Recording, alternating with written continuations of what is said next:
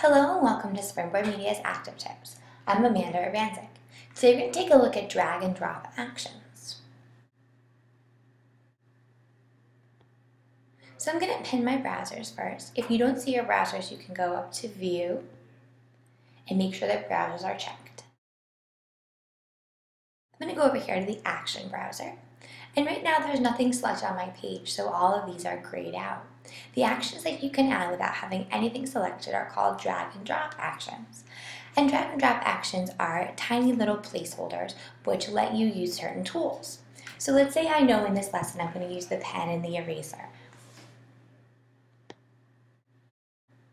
I can drag the action for the pen in, and I can drag the action for the eraser in. I can tell these are actions because when I hover over them, I see a blue circle with a white triangle inside. And when I click on this, my cursor becomes the eraser. When I click on this one, it automatically becomes the pen. One great drag and drop action that I like to add a lot is the select tool. Now I can always go back over here if I need to go back to the select tool. These little icons are pretty small. Let's see if we can make them bigger.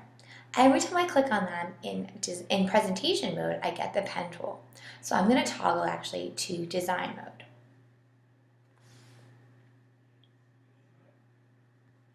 That's this icon right here or along the top. In red, I'm now in design mode. Now I can see that there's an outline around them.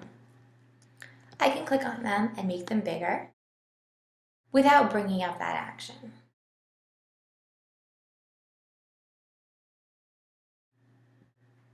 There's a bunch of different drag and drop actions to try out. Pretty much all the main tools that you use in your toolbar. If you want an action it's not in the drag and drop actions, you'll need to make it through the current selection.